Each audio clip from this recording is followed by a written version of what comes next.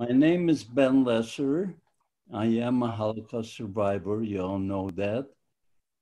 I was born in Krakow, Poland in 1928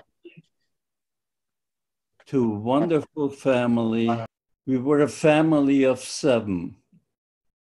And I believe there's a picture we can show you.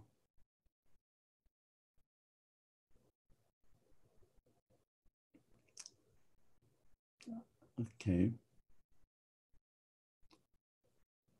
There is my family, my father, my mother, my little brother, Tuli, my sister, Goldie, and my oldest brother, Morris. Now, none of these people that you see in this photograph survived the war. Every one of them were slaughtered by the Nazis. My sister Goldie, I lived in Krakow, but my sister Goldie, she stayed with her grandparents in Munkacs, Hungary. Um, when the war broke out, she was visiting her grandparents, my mother's side of the family, and she was kind of stuck there. So we were all in Krakow, except my sister Goldie. Now, none of these people survived, but my sister Lola, the, here you see the picture of me with Lola, she and I were the only survivors out of a family of seven. We lived in a beautiful building, an apartment house in Krakow, Poland, on a major street this was the building. And the three windows on my left side of the street level were part of our apartment. And the apartment went all the way back into the yard. Um, the last window that you see there, the third window, was my bedroom. One early in the morning in 1939, when the war broke out, uh, we saw the, the whole building started to shake and rattle. So I ran to the window to see what's going on, and I saw tanks were rolling down the street, and following the tanks, there were half tracks and soldiers, Wehrmacht, were on top of the half track. And every few steps, a soldier would jump out, get on the sidewalk, and this is how they occupied the city. Following the uh, half tracks, they were the Wehrmacht, and it was quite impressionable for a 10 and a half year old, that was my age at the time, looking out and seeing these um, Wehrmacht with their beautiful black boots and their goose steps. It was very impressionable, but we didn't know what to expect. I mean, if my parents knew something, they didn't tell us kids. But I have a feeling my parents knew because Kristallnacht, which by the way, today is the um, anniversary of Kristallnacht, it was yesterday and today, two days. And I'm sure that you know all about Kristallnacht. If not, then ask your teachers to please tell you about it. Um, it's quite um, it would take a long time for me to go into that. But right now, I'm sure that my parents knew something because many of the Jewish people, especially the Polish Jews, were deported back to Poland. And I'm sure that my father and mother must have met some people and they found out. But we found out what Kristallnacht was all about. But we had no idea what is really coming. And on the very fifth day after occupation of Krakow, we found out Nazi brutality, what it really was. Early morning at 5 a.m., a truck pulled up to this gate and they started to bang on the gate. And when the super came out asking what's going on, all they wanted to know where the Jewish people lived. And he was quick to oblige. He told them that we lived on this side, and the other side of the gate was another Jewish family. So they came and broke down the door, pistol whipping all of us. We were still in bed, and they had open sacks and they were yelling at us to throw in all our valuables money, gold, jewelry, uh, anything of value. And the same time, they were beating up my father to open up the safe. Now, the other side of the of the entrance was another family, was a young mother and father, and they had two daughters, uh, about my age, because I remember after school we would play in the yard and they the mother gave birth to to a little um, young boy. Um, the baby was only about two or three months old, and we we hear this terrible screaming going on from that apartment. So my sister Lola and I ran out from the kitchen door and we ran into their apartment through their kitchen.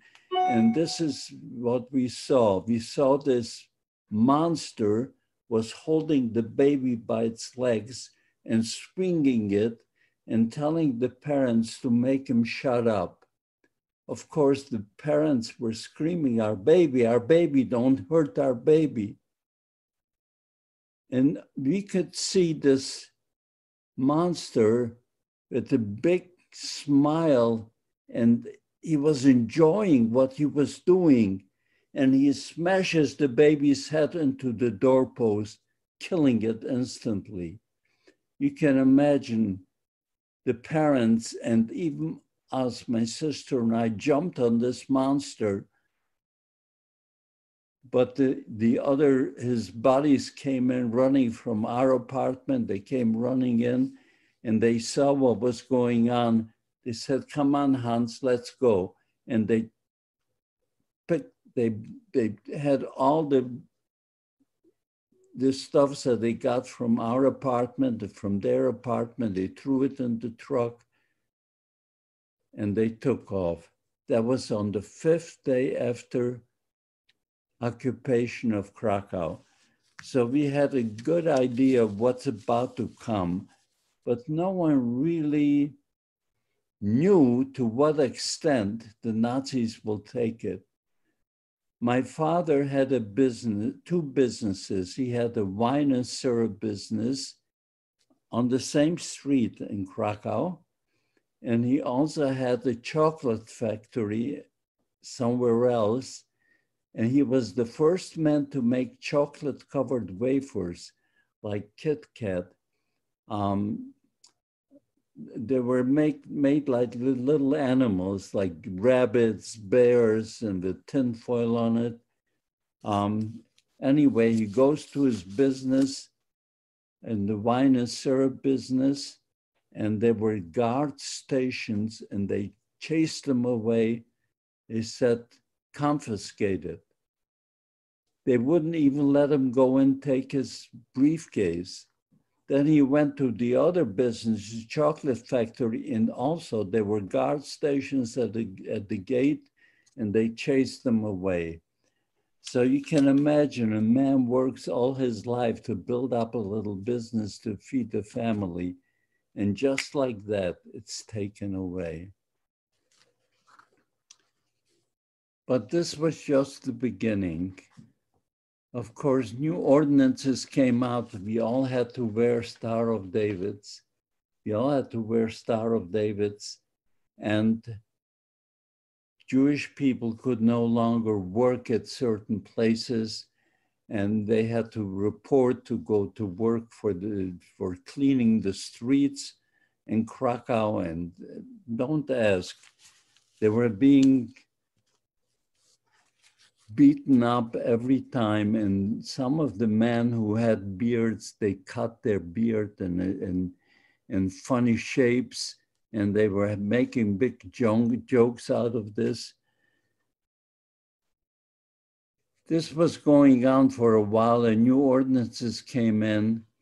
They also had a curfew from 7 p.m. to 7 a.m. Jewish people could not go out of the house.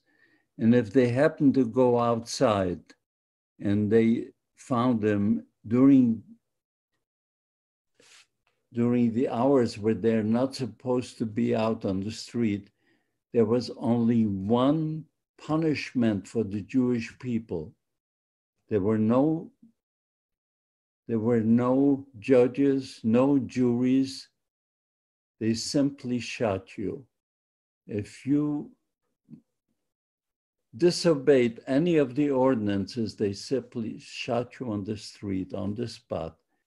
And in fact, it was, was unbelievable at the time, but I'm not going to this was going on for a while, and then after a while, a new ordinance came in, said Jewish people could no longer uh, live in Krakow, but they gave us a choice.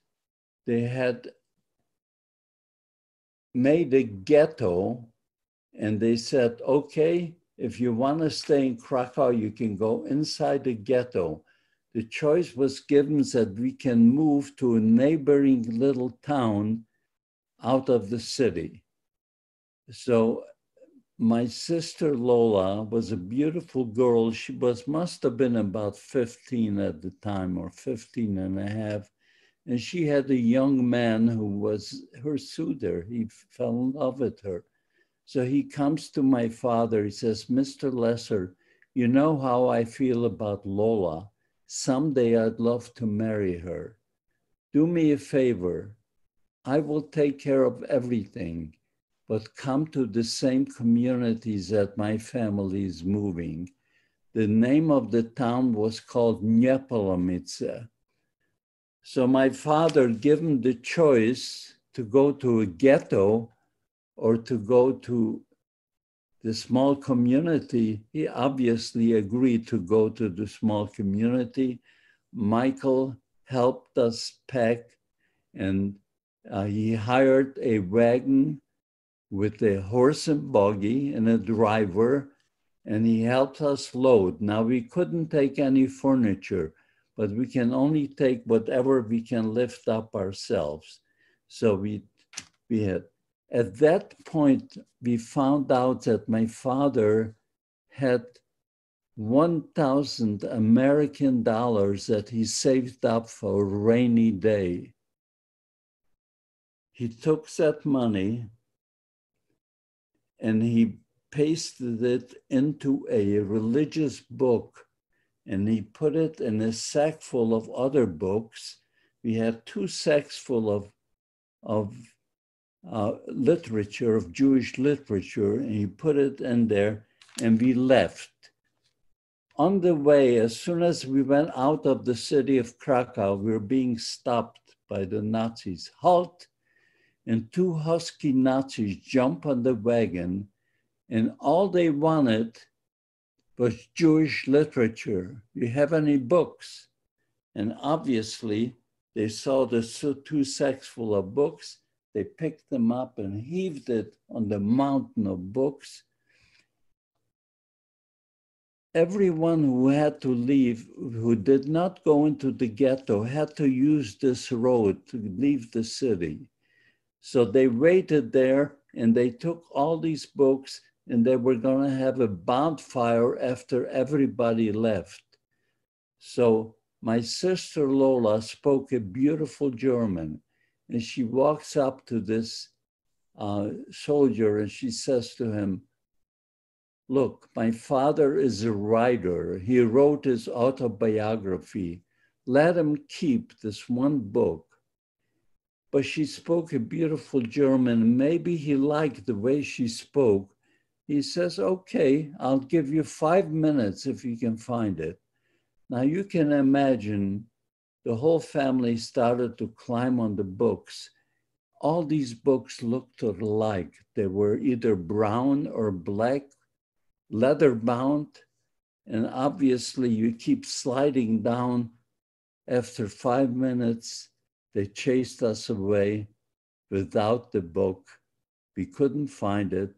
And my father is going to a different community without a penny. How is he going to feed a family of six? Remember, we were a family of seven, but my sister Goldie was in Munkacs, Hungary. But we were only six there in, the, in the, this wagon. And you couldn't recognize my father.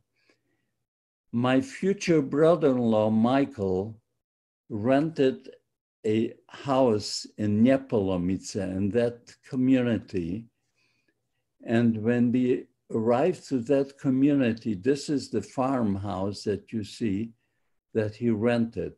And by the way, all these pictures that you see are pictures that my sister made out of memory. She made these pictures in 1950, simply out of memory. And this looks almost like, like the house that we lived in. The farmer lived on one side and we lived on the other side. And between the two apartments, there was an oven where you can bake your own bread.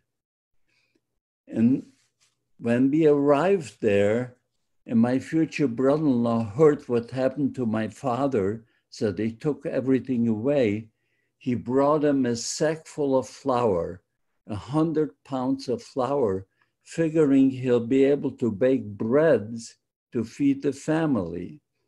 But when my father saw the flour, his face lit up. He was so happy. And he took the flour and he did not bake bread, but instead he baked pretzels. Why pretzels? All you need for pretzels is flour, water, and salt. And those ingredients he had. Then he took the pretzels out to the neighboring bars and he offered it for sale. It was a novelty, I guess, and they bought it. They kept buying the pretzels. Now he was able to bake a bread for the family to eat. And before he knew it, he became a little baker in the whole community. He baked mandel bread, he baked um, uh, cookies, um, breads, challis, he, all kind of baked goods, and the neighborhood was buying from him. And my sister Lola marries Michael and they had the wedding and this is the wedding parties that was in the yard. This was not allowed. They did not the nazis did not allow us to gather more than three people in one place. Either it's a family but if it's not a family more than three people couldn't be together. But they did it anyway in the backyard and you see Michael, my, my brother, my future brother-in-law, my sister Lola. This picture is of me. I'm right here, the third person, that's me. This is my little brother, Tuli, and my mother. Uh, he is leaning on my mother. Now, the strange thing is, out of all the people that you see, only three of us survived Michael, Lola, and I. Everyone else was slaughtered. Nobody survived the war.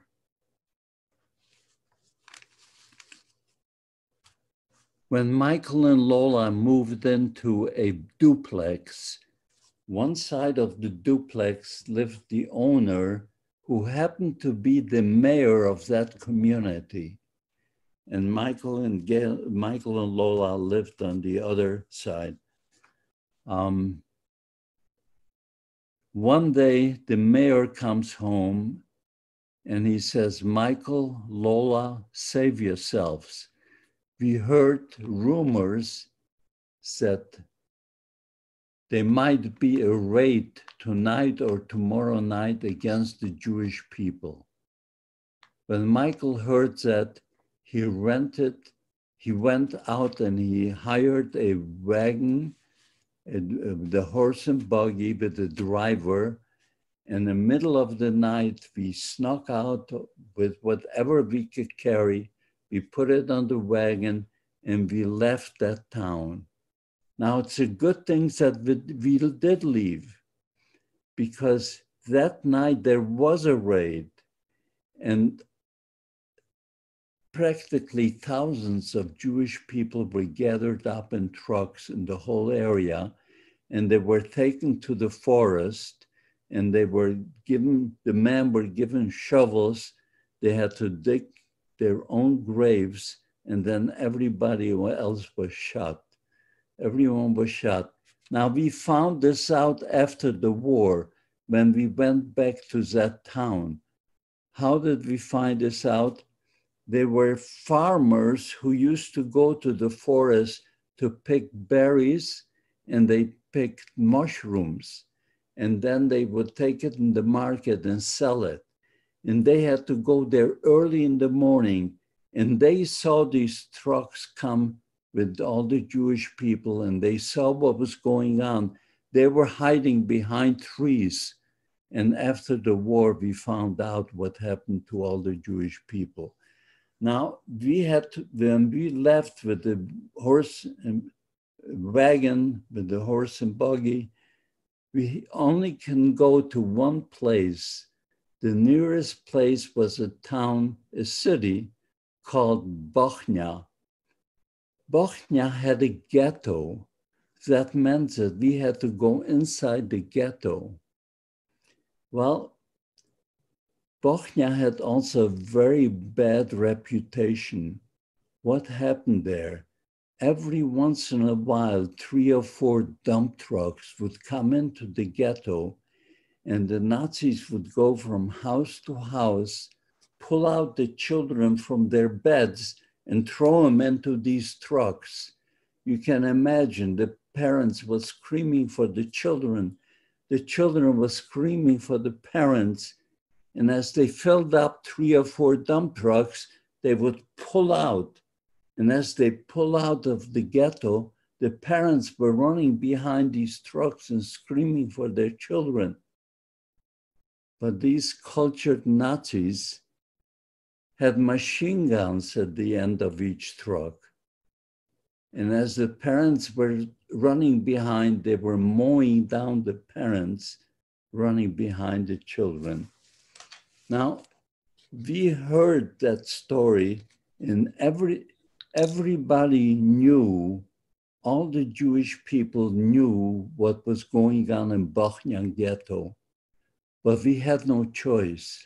We had to go there, and it's a good thing we left Niepołomice because if we wouldn't have left, we would have been killed.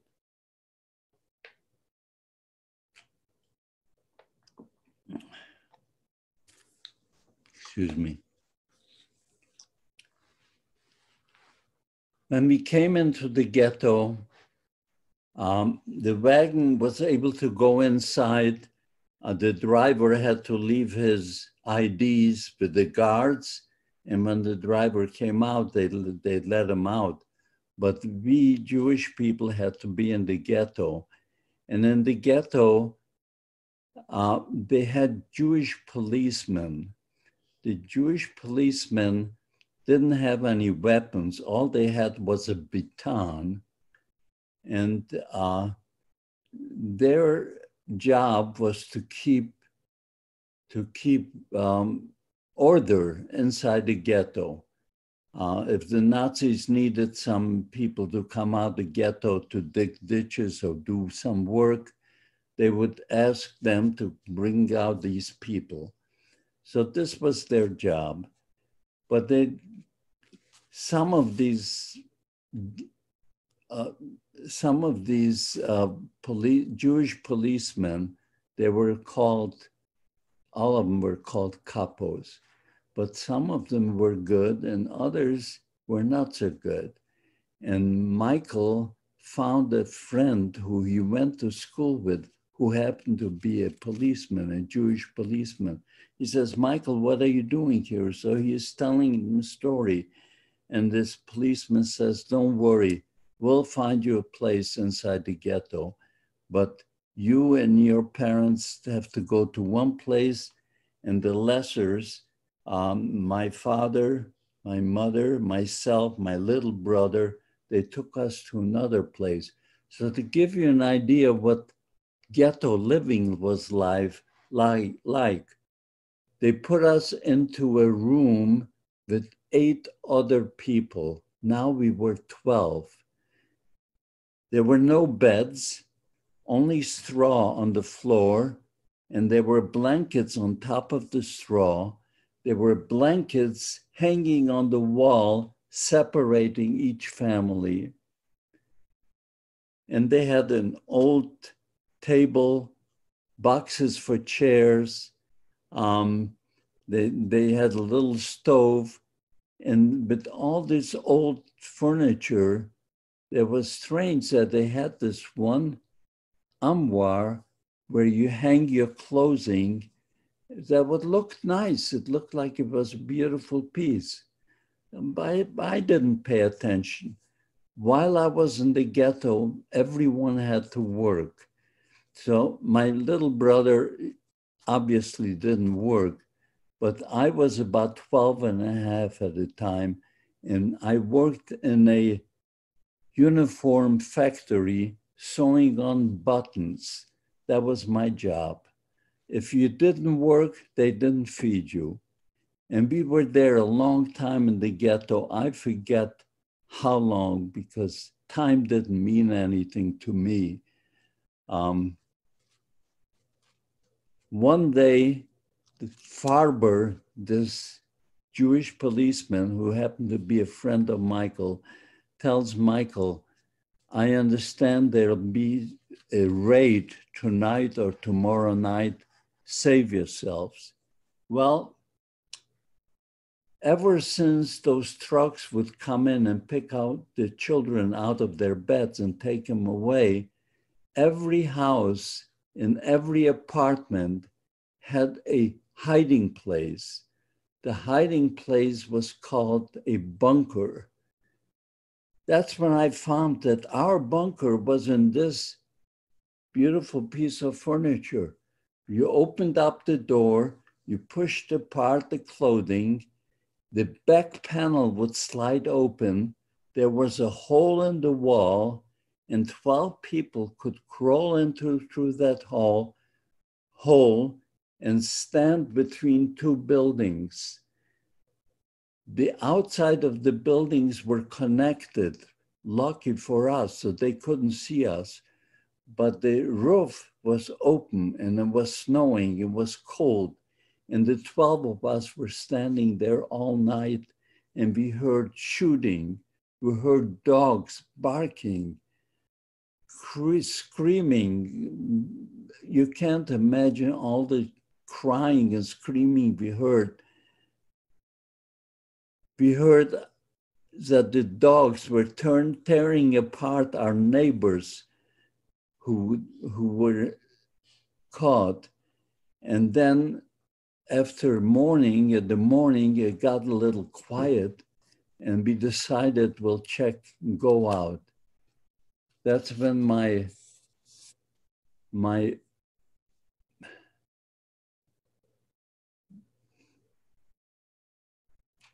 that's when we all went out through the gate and we came outside. When we came outside, we couldn't believe what our eyes have seen. Never in my life have I seen anything like this. people laying on the ground, torn apart by dogs, mothers holding their babies, dead, and people going around in push carts, picking up these bodies and pieces of bodies, piling it on the push carts, and then they took them to the um, uh, to the town square, to Bochnia town, to the ghetto square, and they piled them up like cords of wood. And these cultured people came with gas cans and they were pouring gasoline over them and they started the bonfire of human, a human bonfire in the middle of Bochnia ghetto. I knew that my sister Lola and her husband and fa his family also had a hiding place. Their hiding place was a doghouse. You heard right, a doghouse. You pulled the floor up from the doghouse, there was a step ladder, and seven people can go down into that ladder, down the ladder, and they had provisions, they had food, they had bedding, everything ready for them. And I went there to see my sister, what happened to them. When I went there, I saw all the bodies and and and I saw my sister and I asked what happened. Anyway, then we found out what happened. Before they went into the doghouse, another policeman, a Jewish couple, comes up with his mother and his sister. And he says to Michael, Michael, I know about your doghouse hiding place. Unless you take my mother and my sister with you to hide there, I'm going to tell the authorities. Well, when that happened, they had no choice. They had to take them. And there was only room for seven. Now they were nine. So Lola and Michael walked away. Now, this is a long story what happened. They walked away. They survived, but the rest of the family were all shot. And, and then Michael knew, according to the Jewish religion, you're supposed to bury your family, your loved ones, within 12 or 24 hours. Um, he went out and he found a wheelbarrow. He took his family, put him on the wheelbarrow, took him up to the cemetery. In Bochnia Ghetto, they had a cemetery, and there they found a shovel and they dug out a grave, they put the family in. So to tell you the story, what happened with like Michael and Lola uh, will take too long of a time, and I don't know how much time I have. Um, how much time do I have left? Could someone tell me? Um, I'm not sure. Um, Mark or Ludwig, um, I they said all the time you need, Ben. That's what they're texting me.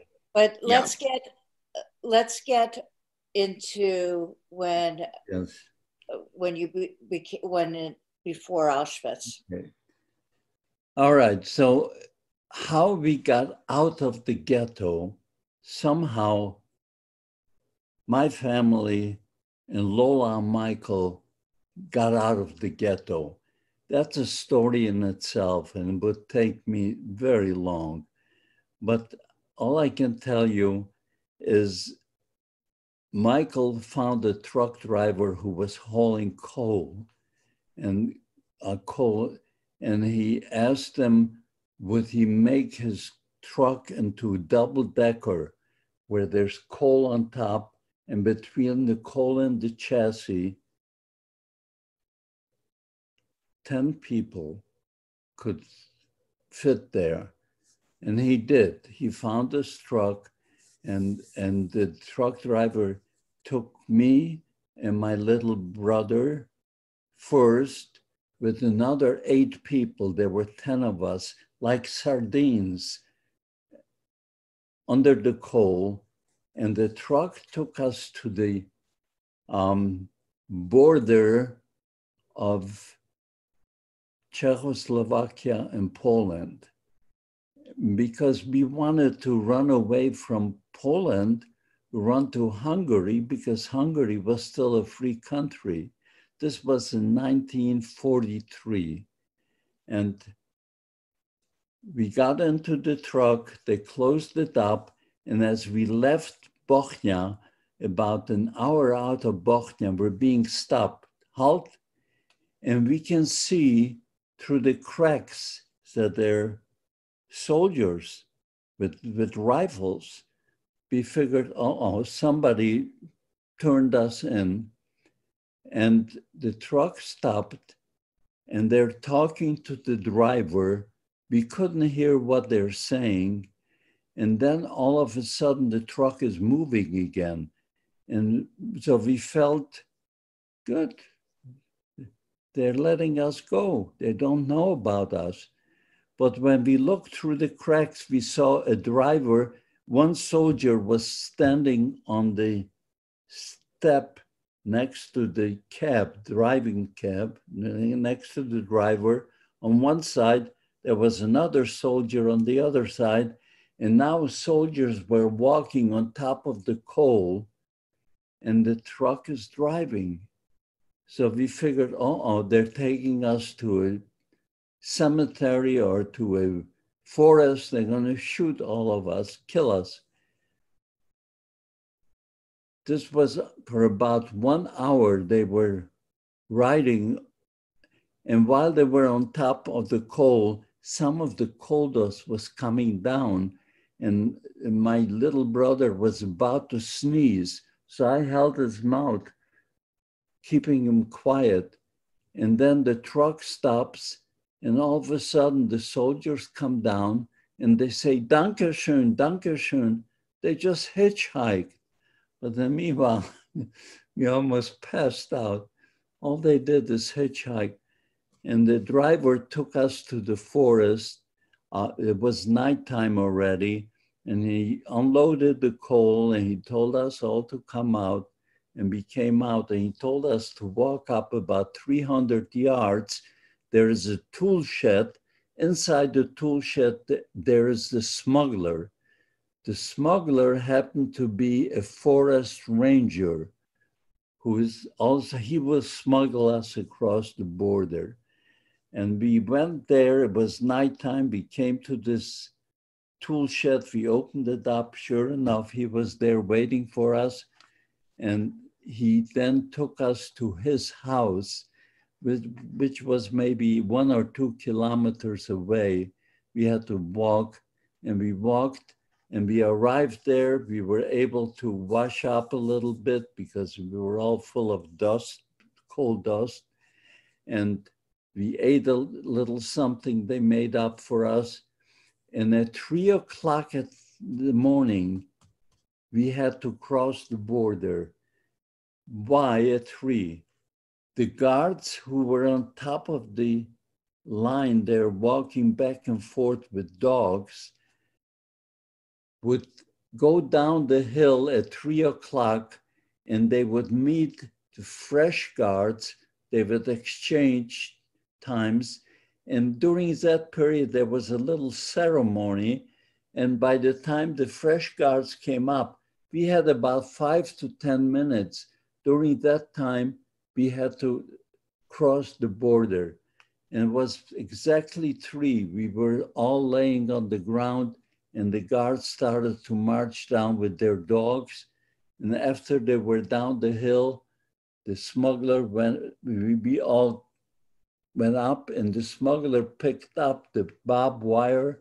We crossed the barbed wire, and he told us that on the other side of the barbed wire, there is a big drop on the mountain. So he says, be very quiet, just slide down, holding each other. Because if you make noise, they're going to hear you, they're going to come back and they're going to arrest you. So this is what we did. We sat down on the other side. There's a big mountain ravine, and we started to slide. I'm holding my little brother, and we're sliding down. It was so pitch black, you couldn't see your hand in front of you that night. It was so dark. And when we hit a plateau, I asked my brother, Are you okay? He says, Yes. And a minute he said yes, somebody taps me on my shoulder and I almost jump out of my skin. Who in the world is out in the middle of the wilderness out here? I got so scared and he says, Beinish. He called me Beinish, which is Yiddish, a Jewish name. Only my mother and father would call me by that name. Everybody else called me Ben or Benek. Um, so he says, I'm your uncle Bela, your, fa- your mother's brother. How did you know where to find me? So he told us that Lola and Michael went across the same route and they told him where to find us and he was waiting for us. Anyway, he smuggled us through through Hungary. We had to go through another border. And that wasn't so simple, but it's a long story. And once we were in Hungary, we boarded a wagon with the driver, and he took us to a small town where there was a train station. We boarded the train, and the train took us to Budapest. In Budapest, we met up with my sister and Michael, and of course, they fed us and we washed up and cleaned up. But the same more the next morning we had to leave to go to Munkacs, where my older sister is, and where my grandparents are, my uncles and aunts and cousins, whole family from my mother's side lived in Munkacs.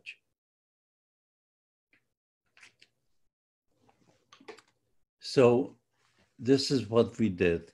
And when we arrived to Munkacs, of course, my sister Goldie, uh, we embraced and the whole family.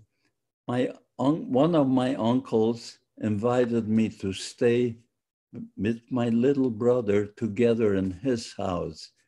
Uh, he was a very wealthy man. He had a store where you sell yardage goods for suits and dresses. And then he also, besides that, he had um, the house was on top of the store, beautiful home. So I told everybody in Munkacs what's happening in Poland. The Nazis are killing us, they're putting us in camps, all of that. So nobody believed us. Nobody believed us, but those people who did believe said, this will never, never happen in Hungary because Hungary is an ally of Germany. Why would Germany siphon off soldiers from the front to occupy a friendly country? It didn't make sense, and it didn't make sense. I agree. But my uncle believed me and I told my uncle, I says, you know, if the Nazis should ever come in here, they'll take everything away, your store and all your valuables. It would be nice if you had something small that we can put in our pocket or hide it in our clothing, like diamonds. He listened to me. And one day he comes home with boxes of shoes a pair of black shoes for every member of the family. And he told us that inside the heels of the shoes, there are diamonds. Use it only in a life threatening situation where you can save your life. Know that you have diamonds in your heels of the shoes. And one day, sure, in March of 1944, the Nazis just marched right into Hungary like they were invited guests. when they came into Hungary, they knew every Jewish person where they live. They knew their ages, their businesses. Everyone was, how did they know? They didn't have computers in those days. IBM had punch cards. And they sold these punch cards to anyone who wants to buy it. And IBM doesn't deny it. They, uh, they, they tell, tell us that they sold these punch cards to the Nazis. They didn't know for what purpose they're going to use it. So they sold it. Now they had, they knew exactly where everyone lived. Now the question is, why did Hitler come into Hungary. It didn't make sense. He was losing the war in March of 1943. He knew 19, yeah, 1943, he knew that he is losing the war. 750,000 Jewish inhabitants in Hungary. To Hitler, to kill Jews and pilfer their wealth was more important at that point than winning the war. And within two months, in April, beginning of May, the end of April, beginning of May, was already transferring, transporting people full of trains loads of, of Jewish people from Hungary to death camps. This is what they told us. You will all be relocated to Germany. Germany needs workers. And we will take care of all the children and the older people, children will go to school, older people will be taken care of, young people will be working, men and women will be working. And bring along with you all of your valuables that you can carry. Anything you can't carry, leave it there. And anyone found hiding will be shot.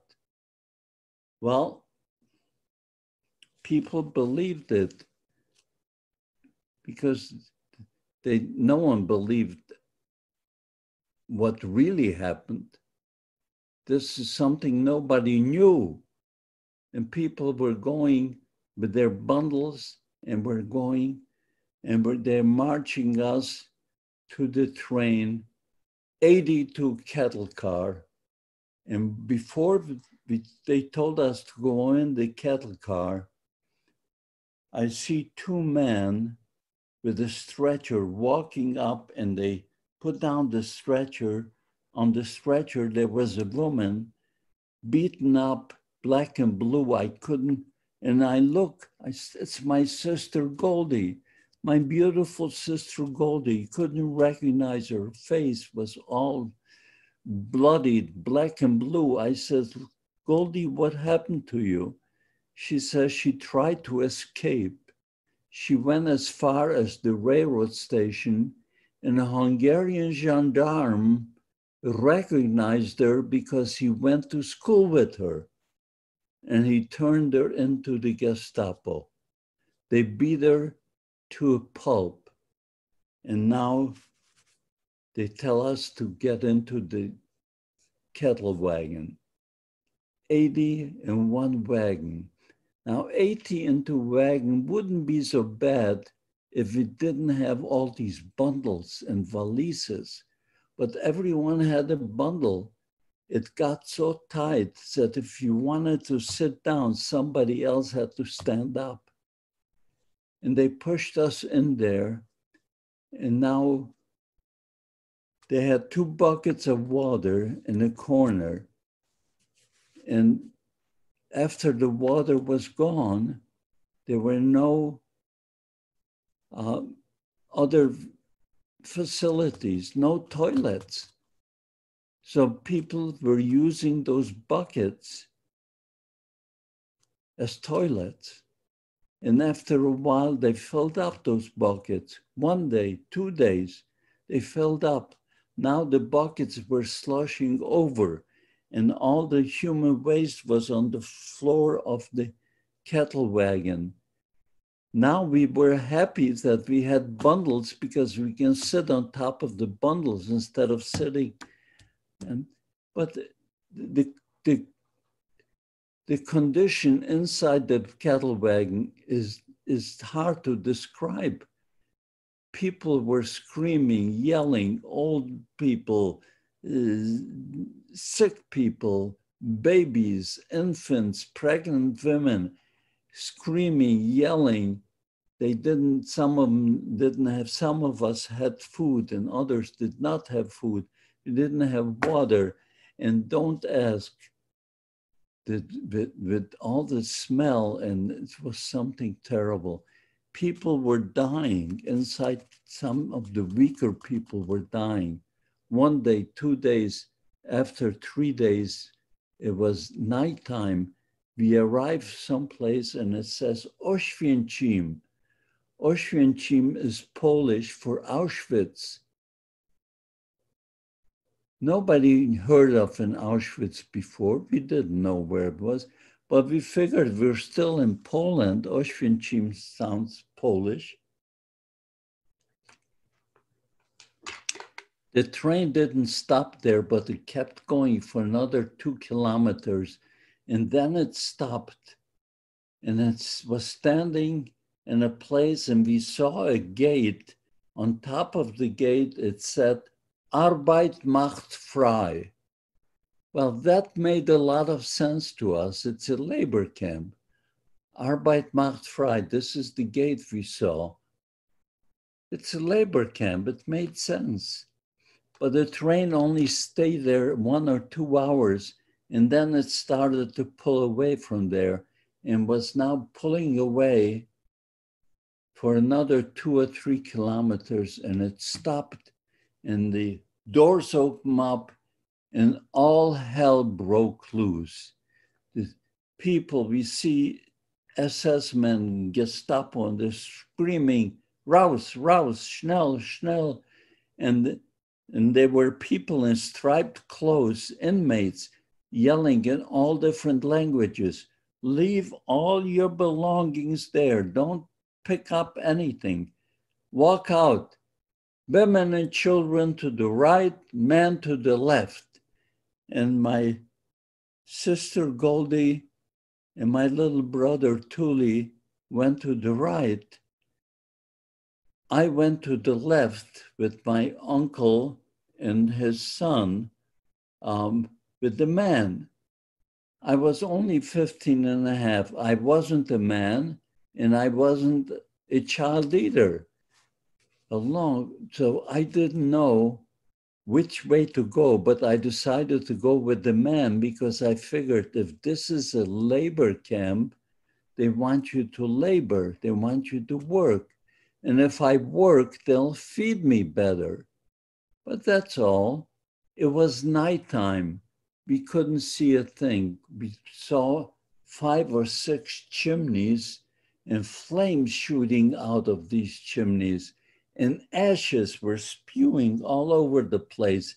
Every time we make the step, we left a footprint in the ashes just like you would, just like you would in, in snow. We didn't know what those ashes are, but the man ahead of me were saying, oh, those flames, those must be smelting factories. This is probably where we will be working. Who knew? We didn't know what this was. Of course, later we found out those were crematoriums. They were burning our, our, our families, our brothers and sisters. Those ashes we're part of them. They're falling all over the place. We didn't know that. And they're marching us forward, and I see a man like a doctor, one of the doctor with white frock, he had white gloves and he goes with his index finger right, left, right, left, right, left. And every once in a while, he would ask a question of somebody. So this young man ahead of us uh, was asked, Kannst du fünf kilometers laufen? Can you run five kilometers? Or would you rather go by truck? And he said that he had a bad knee. He would rather go by truck. Poor guy not realizing that meant certain death. They sent him to the right. But who knew? A doctor is asking you a question. But to me, it didn't make sense. Why would he ask such a question? I can see barracks. We're already in a labor camp. We finally got here. Why would they uh, take us five kilometers away? It didn't make sense. I figured he's trying to test us to see if you're strong enough to work. So I spoke German, and my uncle and my cousin, I told them, go behind me, and I, I will go first. And I came in front of this doctor, and before he had the chance to say a word, I said, stretch myself out, and I said, 18 Jahre alt, gesund und arbeitsfähig. And he, he looks at me and he says, Kannst du fünf kilometers laufen? I says, jawohl. And he sent me to the left. My uncle went to the left too, and my, his son also went to the left. And then, then all of us are being led to a, we don't know where, but through building. It was a brick building, and they led us inside and it was a big room and they order everybody to get on the rest. Get on the rest, get out of your shoes and walk over to those barbers that were inmates holding um, uh, uh, uh, holding, you know, um, cutting, uh, hair cutting uh, machines, little machines. And they were, and then they told everybody to get undressed. Anyway, I got undressed. My uncle gets undressed. Remember, in our shoes, we have diamonds in our heels. I wasn't going to leave those diamonds. So I got undressed and I left my shoes on. My uncle, who gave me those diamonds and the shoes, he got out of the shoes. His son got also out of the shoes because they said, get out of the shoes, just leave everything there, walk over to those barbers. And I walk over to the barbers, they cut my hair all over my body, and then they didn't say anything about my shoes. Then they sent me into the a big room and there was a uh, bathhouse. And once they filled up the room, they closed the door. When they closed the door, some men started to scream. I couldn't figure out why. I guess some of them knew that the spigots in the gas chambers, gas comes out to kill. And they so they started to scream. But the minute water started coming out, it got quiet and everybody took a shower. Then we had to go to a blow. They blew out all the water off of us and they put DDT all over our body. And they sent us to a place where they had uh, uniforms, the striped uniforms and they handed me the uniform and no one said anything about my shoes. I still had my shoes on. So now uh, they gave us shoes. They were wooden soles with canvas on top. So I got into those shoes and I put my black shoes under my jacket. And when we walked out of there, by the way, they also gave us a little round discs with a number. My number was 41212. That was my number. Um, and we had to wear this number all the time, this little disc on the string. We had to wear this all the time. And they march us out. Now they march us, it's still dark, and they march us to a barrack. The Stubenälteste comes out from the barrack and he speaks to us in a broken German. And I could tell in his accents that he is from Poland. He's Polish. And he says, Ha, you Hungarian Jews, you think you're here on vacation? Think again. You see those chimneys, those ashes? Those are your mothers, your fathers, your brothers, and your sisters. And if you don't behave and do exactly what you told, this is exactly what you're going to wind up is ashes. We couldn't believe what he just said. This is the 20th century. These are educated, cultured people. You mean they, they're, they're burning my, my, my, my sister, my little brother, ashes? We couldn't believe that. But then he ordered us to go into the barrack and we had to go to pick a bunk. My uncle, cousin, and I picked the upper bunk. We figured it's going to be better sleeping on top.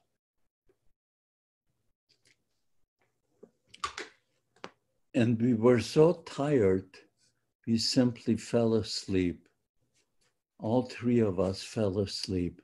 And after an hour, my cousin punches me, starts to wake me up. Wake up, Ben, wake up. I says, what's going on? He says, listen. And I hear a humming or a chanting or a singing. I don't know what it is. And then he says, look, one side of the barrack had boards missing in the wall and we see an orange hue like flames. Now, I spoke Polish because I'm from Krakow, Poland, but I came with the Hungarian Jews, and I knew the Stubenälteste was from Poland. So I walk up to him and I says, tell me something. What do I see on this, this, this orange hue? And what do I hear? He says, Ha, you Hungarian Jews, you know nothing. He says, six months before Hungary was occupied by the Nazis, they made us dig ditches here as fire pits for the influx of the Hungarian Jews. They built another crematorium, in another gas chamber, just so that they can put in those Hungarian Jews. These trains from Hungary's were coming in fast and furious, lined up one after another, and they had to kill people. And they, he told me they had to kill almost 5,000 or 5,500 a day and he tells me about the gas chambers. That it takes a half an hour to kill a person in the gas chambers. But the Nazis could not afford to give a half an hour to kill a person because the trains were coming in with all the other people. So they watched in the window, and as soon as they saw most of the people were laying on the floor, they had opened the door, have the gas go out, wait for 10 minutes, and have the Sonderkommando come in and pull out the people from there. They were still half alive, but they were knocked out. And they had to pull out their gold teeth. They had to cut their hair and check the body to see if there's anything hidden in the body. Then they would put four or five people on a gurney, put rope around it, and take it to the crematorium. But that process was too slow. So now they had dump trucks and they would throw those half dead people on the dump trucks. And, and then I asked them, but what, what is that sound that we hear? He said, Jetchi, huh? Children? They couldn't be bothered with infants and children. They had no gold teeth. They had no hair. They threw the live children on top of the half dead bodies on these dump trucks. And now they were taking them into the fire pits and dumping him in there in the fire pits. And that's the, the screamings that I hear. These little babies alive throwing into the fire pits. I couldn't believe what I just heard. Anyway, what I went through in Auschwitz for two weeks will take too long to tell the story. You couldn't believe they didn't, we didn't work. They had it in a had us in a bar in that barrack and near the fire pits, and we can hear all the screaming all the time, day and night. And then morning and evening, we had to come out naked, and the SS would check us out and see if we're healthy enough to work.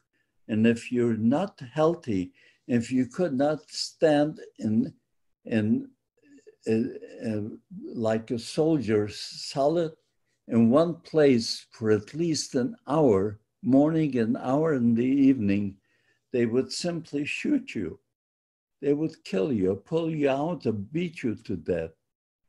They had a game they used to play. Would you believe that? That they would tell us, Mütze abnehmen. took off the cap and we had to hit the bottom of our legs with the cap. And if they heard one sound, it was okay. But if somebody hit Later, they wanted to know who it was. And if they found out who it was, they would pull him out and kill him in front of everybody. I mean, you can't believe that a human person, a educated human person could be such sadists, such killers.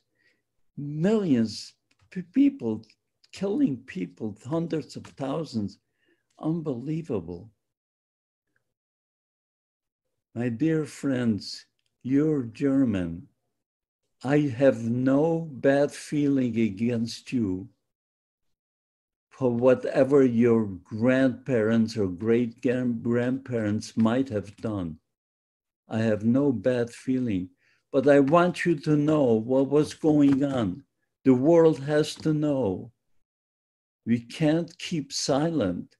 There are only a few of us Holocaust survivors who can still speak around.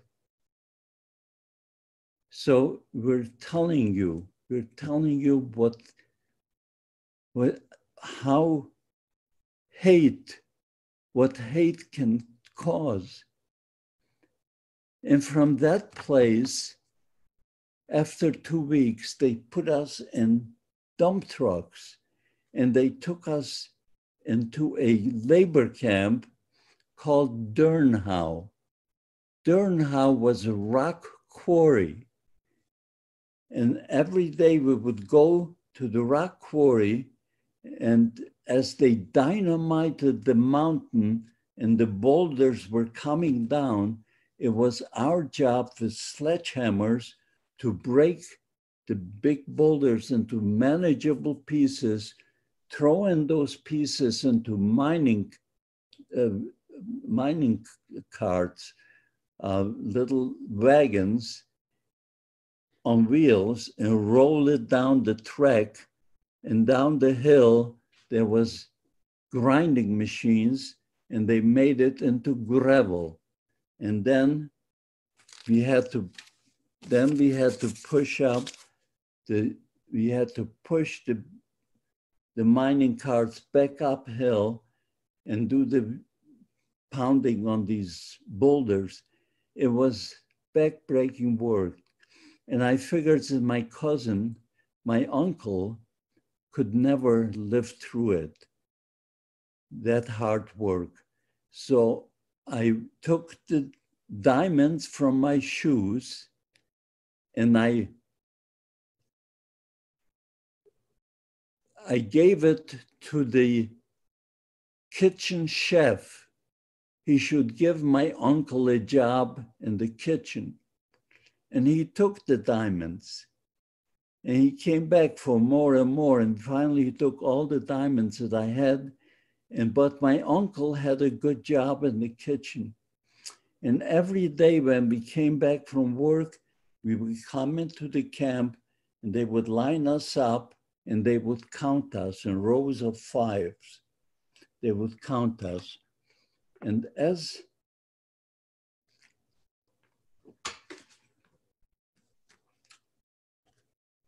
as they're counting, after counting, they usually dismiss us and we go take our rations and then we go in the barrack and we shower or go, go to sleep or what. But this time, no, they keep counting and counting. And the commandant comes down with his Fräulein. And he says to us, I'm going to show the Schweinhunds a lesson they'll never forget. What happened? Three of the inmates escaped. And because of this, he orders every 10th person in line to be pulled out to receive 25 lashes. And as they're pulling out every 10th person, I can see my uncle who was in front of me was number 10. I switch him, I push him behind me, and I took his place. And sure enough, they took all us number 10 in the middle of the yard and they brought out two bundles of hardwood stakes one by one. They brought out the hardwood stakes and they brought out a sawhorse. This is a sawhorse. They brought out a sawhorse and they line us up.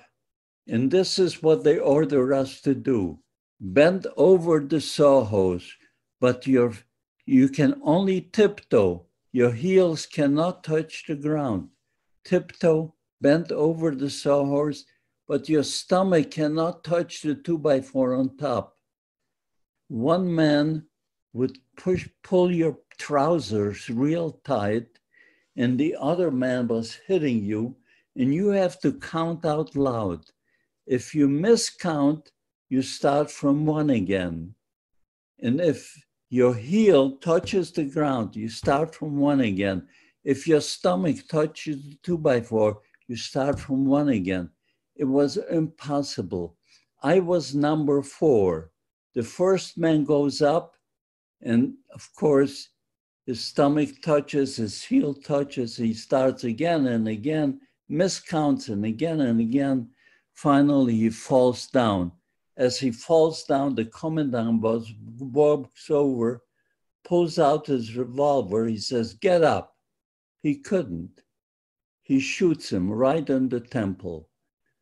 When he shoots him, his girlfriend, his Fräulein, walks over to him and gives him a hug and a kiss, like he just performed some kind of heroic act. Number two goes up, the same thing. Number two falls down, the commandant goes over, shoots him two dead bodies. Number three goes up. he couldn't make it either. His heel had, and he, terrible. And every time they hit him, you can see blood coming through the trousers. And they, he was a younger man, so he screams, Please have mercy on me, don't kill me. So the commandant says, Then get up and come over here and face me. The poor guy gets up, makes four or five steps, and his knees gave out on him and he fell. The minute he fell, he shoots him. He has three bodies, and I, Ben Lesser, is number four. I'm next in line. Well, what can I tell you? I, I walked up to this sawhorse. I remember saying something to myself, Ben, if you want to live in another half hour, better do exactly what you're told. So I walk over, I tiptoe, I bend over the two by four without touching the two by four. One man is pulling my trousers real tight, the other one starts to hit, and I start to count. Eins, zwei, drei, vier, fünf, sechs, sieben, finally 20, 21, 22, 23, 24, 25. I made it. You could hear a pin drop in the camp because nobody believed that anyone could survive this. When I did, the man who was pulling my trousers tight tells me, go over and thank the commandant. So I stand up and I walk over, blood is running down my trousers, and I salute him and I say, Danke schön, Herr Kommandant. When he hears that, he puts his hands on my collar. He twists me around, facing the number 10s, and he says, Now I told you it could be done. If you do it like this, Junge, you have nothing to worry about. While this is going on, there is a commotion at the gate. They caught those three inmates and they were pulling them in, black and blue, bloodied. You couldn't recognize any of them. When the commandant saw that, just like a child gets sick of a toy, he told all of us, number 10, to go back in line. And he instructed his henchmen to bring down a portable gallows.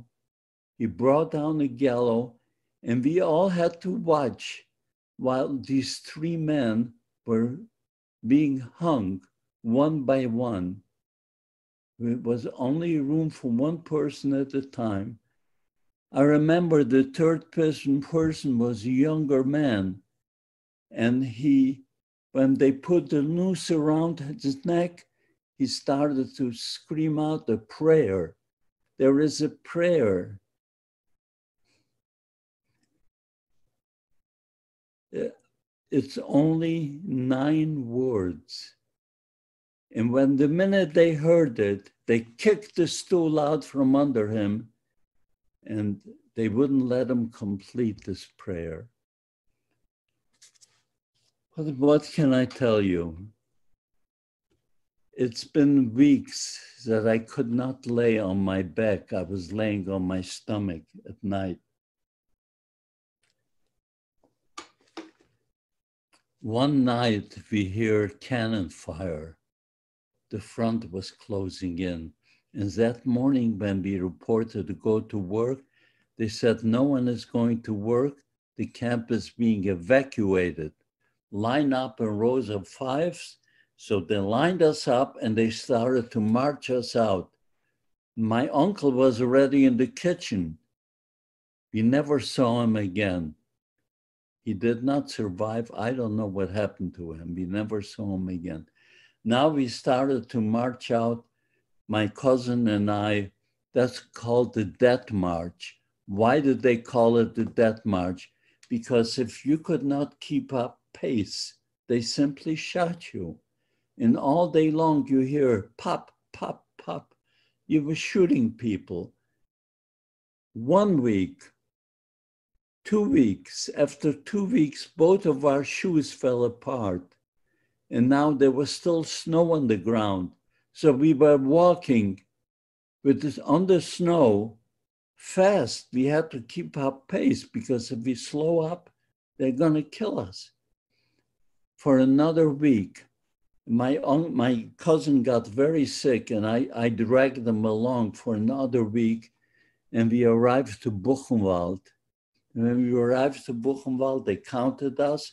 They told us to go into this barrack where they fed us and we slept there and we also went to a bed. They had a bed house there. We took a shower and after this, and after sleeping next morning, we had to be back on the same place because they said Buchenwald is also being evacuated. I'll tell you the story later about this, I think was me and the bathhouse in Buchenwald. Must have been taken by an SS, this picture. But anyway, um,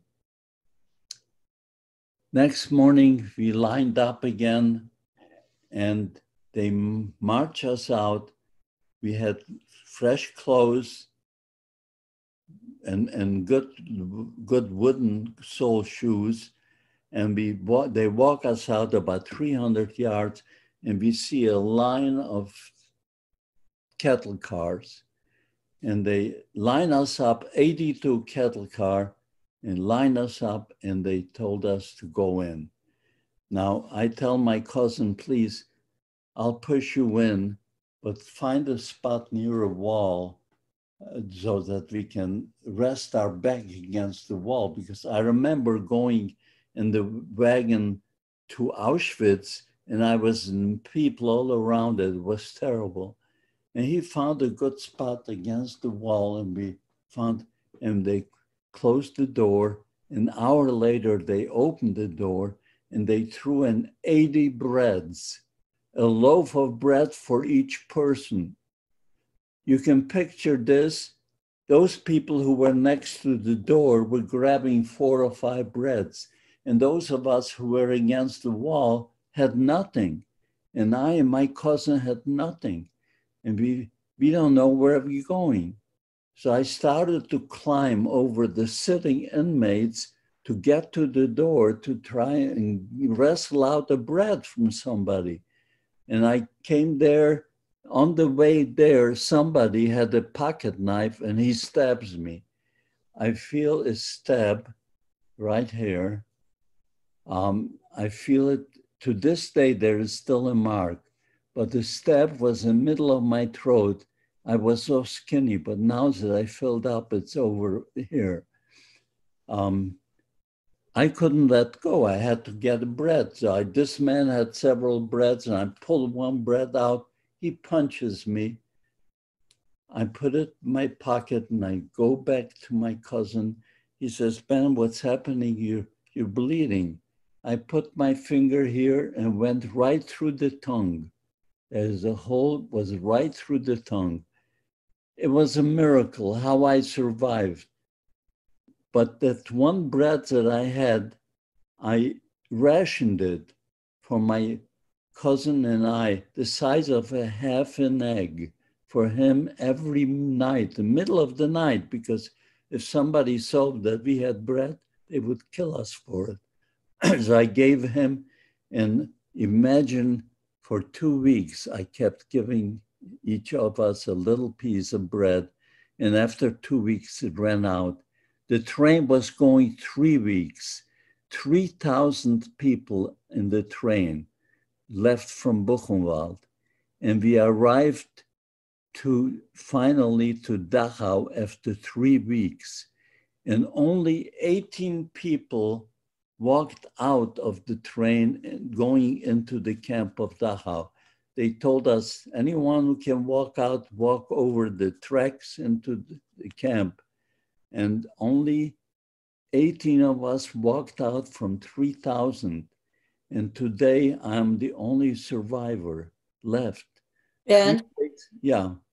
If, um, if I could interrupt real quick, I, um, you know, the students are uh, in an area around Nammering, and that train stopped in Nammering. So you, I want to make sure that you mention that to the students so they know. I found out after the war, I didn't know then that we, we were in Nammering, so they took out hundreds of people from the train and they shot them and they buried them there in the mass grave. I had no idea about this because we, we didn't know, but we found this out recently from, from some of your people who lived there. Uh, but anyway, three days later, we were liberated. When we came into Dachau, there's a mountain full of dead bodies. As far as your eye can see, there were dead bodies. They were next to the crematorium and uh, I guess they, they ran out of coal, so they couldn't burn them, and they were piling up. And they put us, this is the train that I came with, the death train. And they put us uh, in a barrack right next to the crematorium. They didn't give us a bunk, we just laid on the ground. And three days later, I'd be here, Befreiung, Befreiung, liberation, Americans, Americans. I tell my cousin, let's go out and see what's going on. And we went out and we see, we see uh, inmates were crawling on their hands and knees and they were kissing the boots of the GIs, American GIs. They looked like angels to us. They came, we couldn't believe it. They, they looked like gods. Um, and, and we stand inside the yard and two uh, GIs walk up to me. They had a can of spam. They opened it up and it smelled so good. We made a mistake. We ate a little. We shouldn't have eaten it. Our stomachs are not used to it. And both of us came down with dysentery. My cousin dies in my arm the night after liberation, the night of liberation, he dies in my arm from dysentery. And I was so sick. So when they came and they took him away, I followed. And as I followed, my knees gave out from under me and I fell. When I fell, they pushed me to a wall and I was there a few hours. Then a man comes up to me dressed nicely dressed with a suit, and he asked my name. I introduced myself, and he says he is a Jesuit priest. He talked to me in Polish. He's a Jesuit priest. He came with nuns and doctors from France, and they're opening up a field hospital in Dachau. And he's going to take me to this field hospital and he puts me on top of his shoulder. I weighed about 60 pounds. I was 16 years old and maybe 60 or 55 pounds. Like a bag of bones, he takes me. And he talked to me, he told me something I'll never forget. He says, Benek, he says, talks to me in Polish. You went through something awful. All, all that what they did to Jewish people is unbelievable. And the only sin that you did is that you were born to a Jewish parent. Because of that, they killed all of you. He says, however, don't you ever abandon your noble religion. To hear that from a Jesuit priest in 1945 was very unusual. You may hear that today, but not then. And he took me into the um, uh, hospital or dormitory, whatever, and they had the, they had um, cots with white sheets on it. They put me on a cot, and nun came over, took my vitals, and I passed out. Two months later, I woke up in St. Ottilien. This is a monastery in Bavaria, not far from Munich. And the monks gave up one building to make a hospital for the survivors. And this is where I came to life. Two months after liberation, I didn't know anything. I wake up. And my story continues. Uh, it, it's what happened to me afterwards and how I found my sister. And it, it's going to take too long to tell you the story. I could only tell you that it's all in this book. The book is called Living a Life That Matters From Nazi Nightmare to American Dream. My dear friends, you're youngsters, you have a whole future in front of you. I'll tell you something. Hitler, Hitler and the Nazis did not start with killing. It all started with hate. Hate, propaganda, and this is how it began. So the hatred has to stop. The Nazis uh, had hate. And because if you hate someone, it's easy to kill. If you bully someone in school, that person that you bullied is never going to forget. He's always going to hate you for it.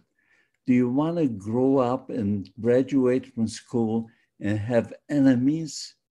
You don't want to do that because you never know what this person can do to you.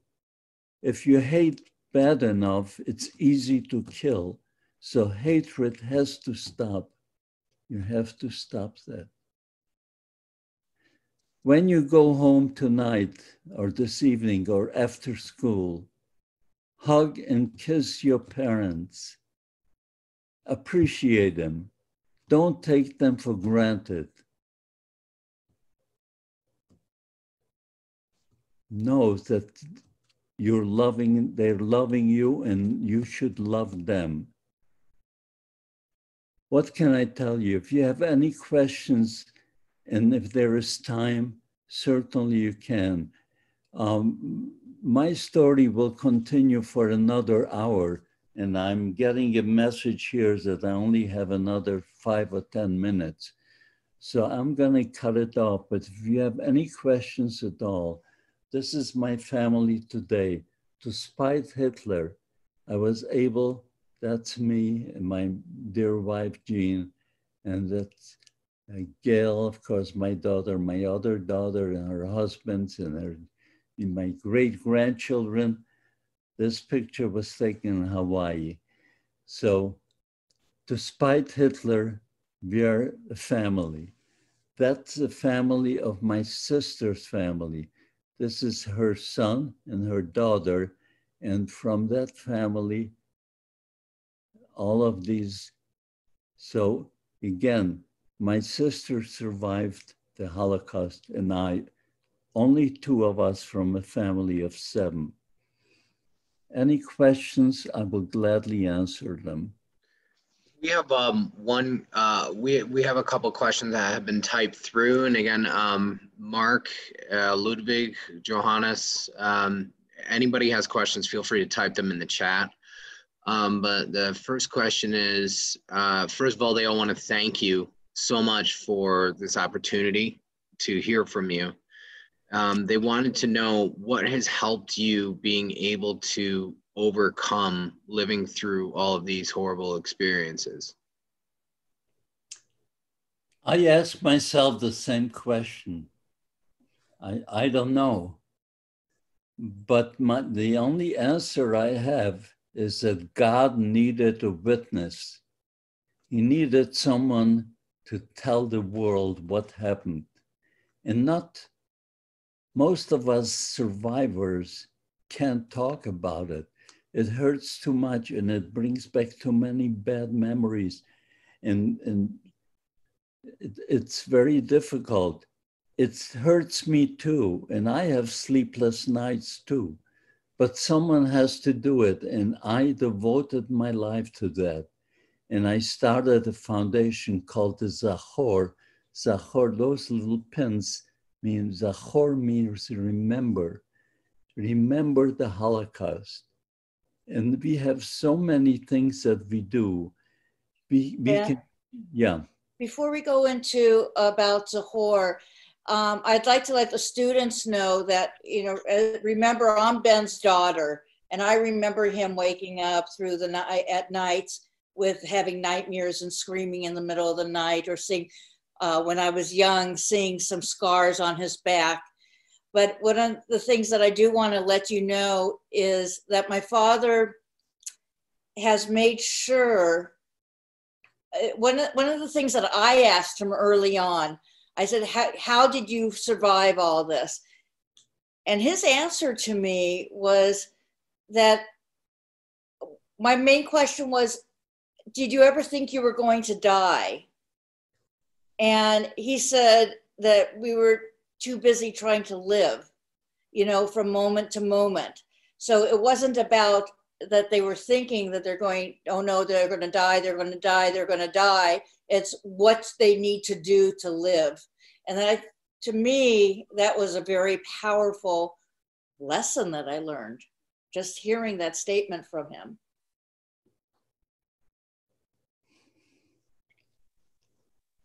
So we have um, another question that came through. They want to know um, how does Ben see Germany today?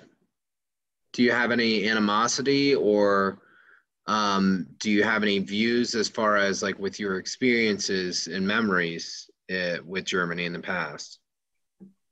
No, I um, I spoke in, in many schools in in Germany, and I always tell the youngsters, I have absolutely nothing against you uh, for for the sins that your great grandfathers did or grandfathers. Each person is a person on their own, and I respect each one of you. Uh, it doesn't make a difference to me if you're German or if you're Polish or if you're Jewish or if you're Israeli. You are a human being. You know, Hitler, um, Hitler foresaw a um, Übermenschen. You know what Übermenschen is?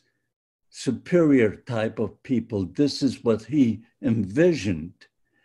Now, he envisioned mostly the Nordic type um, blonde hair, blue eyes.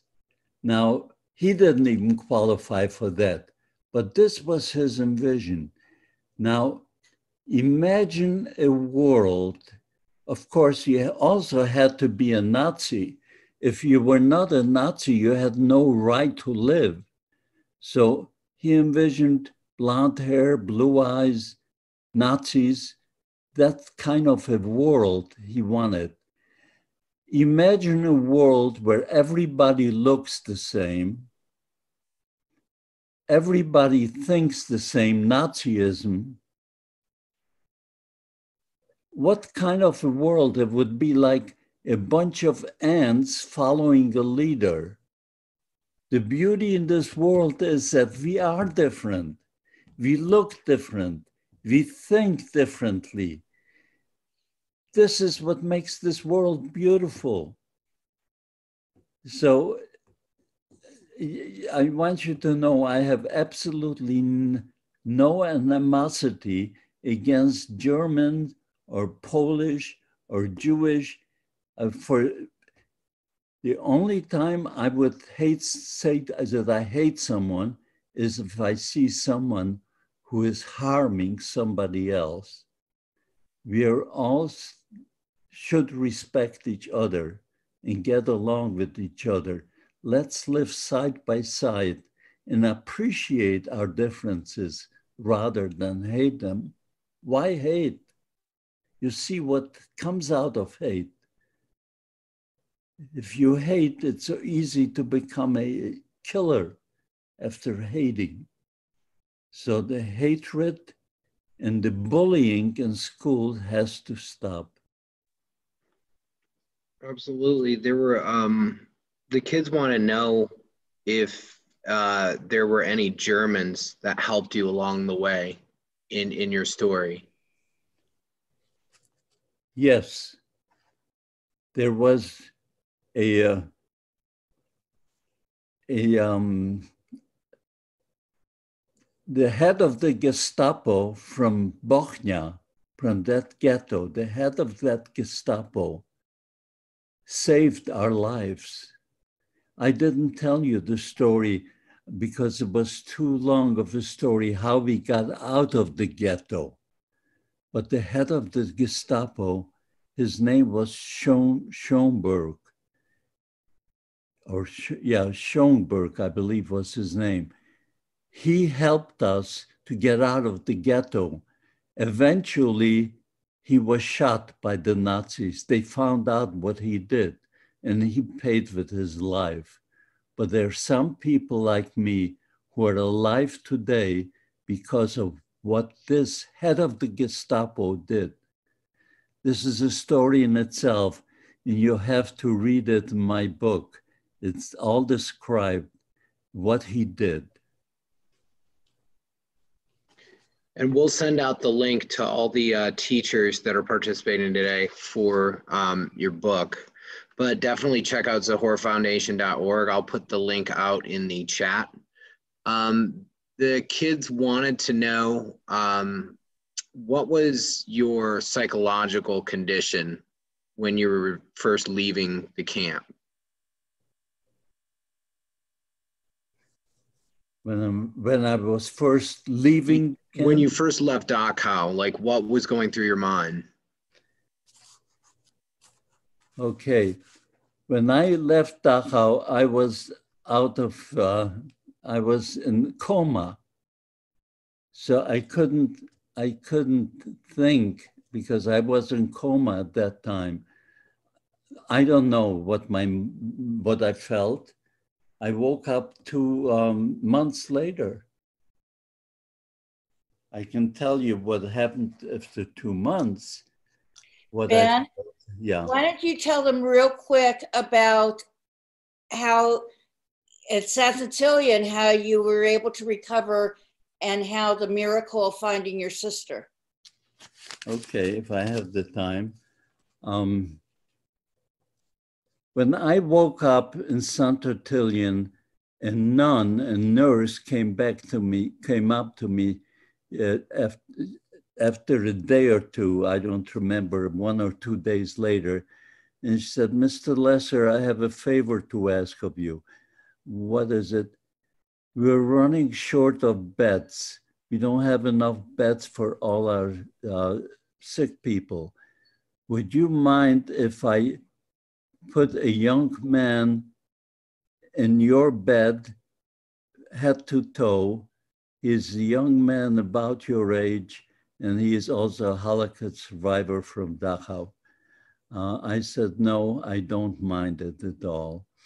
And so what happened is this young man was brought to me, and he and I became very good friends, and we became like surrogate brothers because he lost his family, and as far as I knew, I lost my family. So we became like surrogate brothers. And we joined an organization of Chalutzim, an organization of pioneers who wanted to go to Palestine because we felt that if we were in, if we had our own country, this, the, the Holocaust would have never happened. Our own, we had our own country, um, uh, the, the, we would have the, the, we couldn't it couldn't happen because we wouldn't allow it to happen only because we had no place to go and we were strangers in all these lands where we picked out to be uh, killed and persecuted so i became a member of this group and one day they picked 10 of us to go to Palestine at that time. This was, and if the British found out about it, they would put us in, in, in jail because the, the um, Arabs didn't want Jewish people coming to Palestine at the time. Okay, so this was in 1945. We joined, and I was picked to go to Palestine underground to keep it uh, because the British shouldn't find out. And we, we, we, we left. But as we left, one young lady um, that was picked to go to Palestine got sick. And they took her, her name was Rachel, they took her to a hospital to St. Ottilien. And before I left for the group, I said, I have to go say goodbye to her and make sure that she knows when, when she gets better, we will come and bring her over. So I went there and I sat on her bed talking to her, and I had to wait there two hours for a bus to come to pick me up. So while I am on her bed talking to her, uh, I'm not paying attention to the other women in the same hospital room. But there was a woman next to her, and she paid attention to me. And when I left, she says, Rachel, who was this young man with his wavy black hair? He reminds me so much of my brothers. Oh, his name is Benjamin. See, we, we went by our Hebrew name, Benjamin. Benjamin, I had a brother by the name of Ben, Benek, Binish. Do you happen to have a picture of him? She says, Yes, we have a picture of, and she showed her this picture. And this woman looks at this young man, she screams, That's my brother, my brother, he's alive, he's alive. Imagine. He said he was here two hours and he left. Now I left and I went underground because um, we were in Frankfurt. And um, the only thing Rachel knew is that I went to Frankfurt and from Frankfurt, we were going to Marseille to board the ship. So, but it was hushed up on the underground. So my sister finds a cousin and she swears on his head, says, go find my brother and don't come back without him. Tell him that his sister Lola is in a hospital dying, and her dying wish is to see her brother. Now, she wasn't dying, but she told him to say that. And he went to, he went to um, um, uh, Frankfurt. Frankfurt, thank you. He went to Frankfurt and he walks the street up and down. He doesn't know where to go. One hour, two hours. Finally, he sees a bunch of young people speaking Yiddish. So he walks up to them. Do you happen to know Ben Lesser?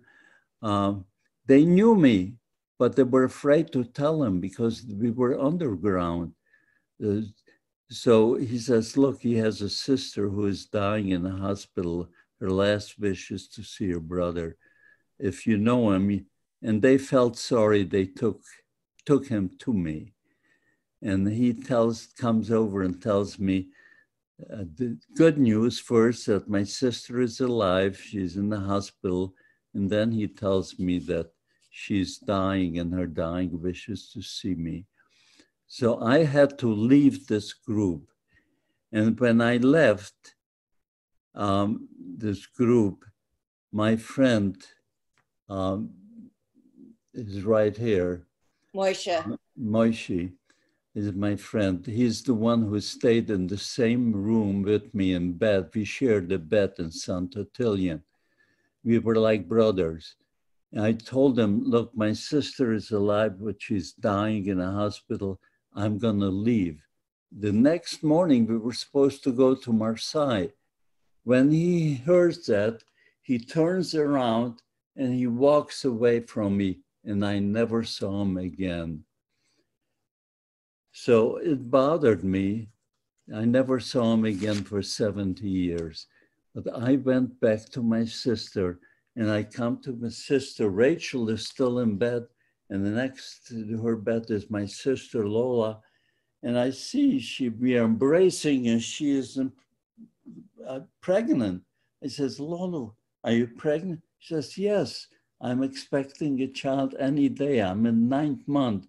And it turned out I'm not sick. I just used that to get you back here. Um, that's the only way she could have gotten me back by saying she's dying. So I went back. And we went back, and a month later, she had a baby, um, Heshi, and that's her husband, that's a nurse, and that's me. Um, and my whole life changed. Instead of going to Palestine. Uh, I would have gone to Palestine. I would have probably been a soldier there fighting for our land to become Israel. But I, I went to America instead and I married, and uh, I, am married now for uh, 70 years. I just had our 70th anniversary. Um, we have two daughters and we have uh, four grandchildren and five great grandchildren. Um, things are going pretty good. Any other questions? Um, we'll go with a couple more questions. There, there were a number of questions that the kids wanted to know about hope. Um, first of all, what they want to know what gave you hope while you were in the camp, and then they wanted to know if you ever lost hope while you were in the camp? The answer to that is no. I didn't lose hope. After I went through that beating, um, when I got those 25 lashes, that was the time that I felt it's possible that I may not get through, I'll be shot. So I was prepared but somehow or another, in the back of my mind, I always had hopes that I will survive it. And I did survive it. I, but afterwards, um, yes, I, I always had hope. I, I dragged my cousin along who was sick and I tried to keep him alive. I felt that I'm young enough and if I made it so far, I should be able to make it all the way. But I, I really don't remember, to tell you the truth, how I felt. Um, because afterwards, I, I went into coma. And after I went into coma, I don't know how I felt before. All I know is in the train, I was pretty and the, I was pretty uh, close to dying. And I see everybody around me is dead, um, but we're still alive. I think that one breath that I took somehow saved me. But imagine with all that bleeding and all that filth and dirt without, without any water, um, we had the train bus stopped a few times and they allowed us to get some snow. So we, we filled out, we had two empty buckets, we filled it with snow and everyone was using that. But that only happened two or three times in three weeks.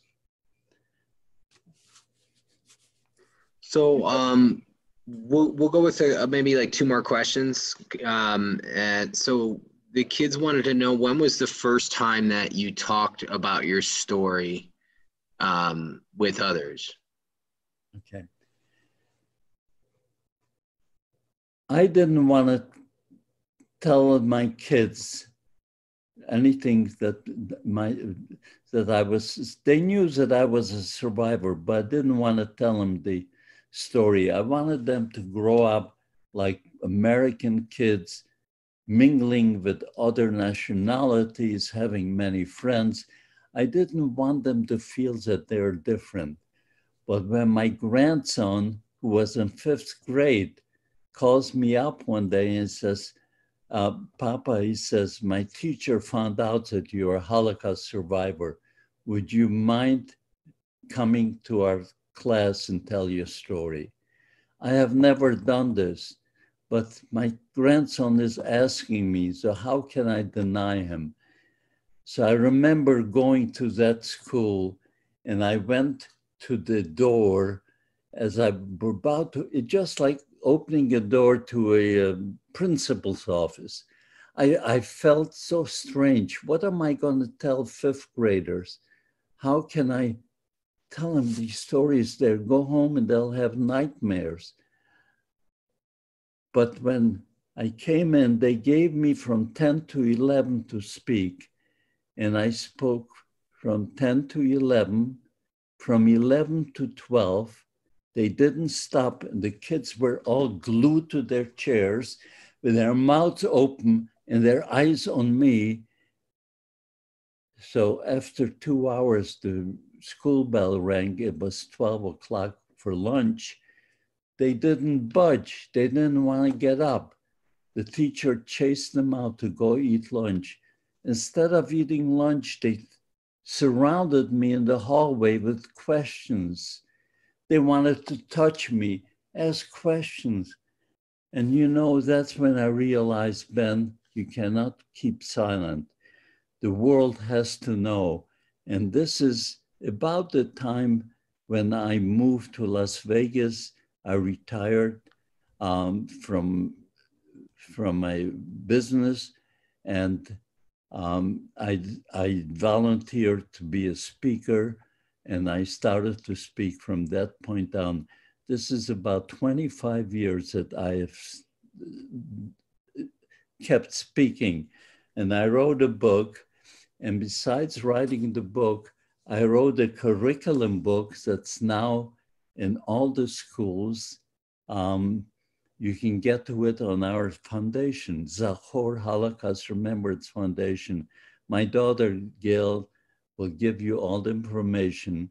www.zachorlearn, zachorlearn.org is my, um, is my curriculum book. Um, you'll love it, you'll love it.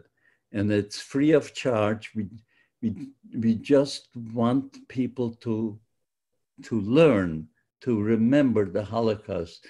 We keep this world from acquiring amnesia.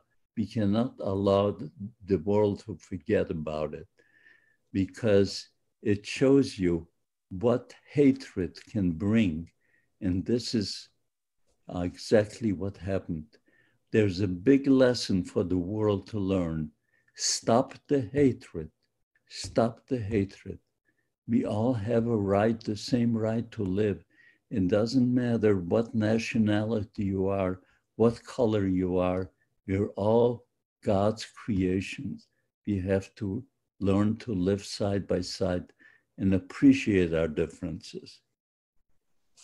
Well, that kind of touches on the very final question, and, and that was um, the students wanted to know how can we prevent another Holocaust from happening? I would love to answer that. Oh, wait, okay. Ben, you answer that first, and then I'm going to follow up. Okay. Again, hatred has to stop. We have to stop. Uh, doesn't matter whether you're white or black. It doesn't matter what your religion is. You're a human being. You have to respect each other, live side by side, and appreciate us.